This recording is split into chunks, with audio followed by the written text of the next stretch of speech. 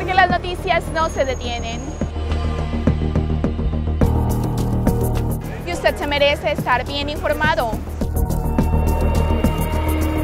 Nos renovamos pensando en usted, solo aquí en Noticias 3.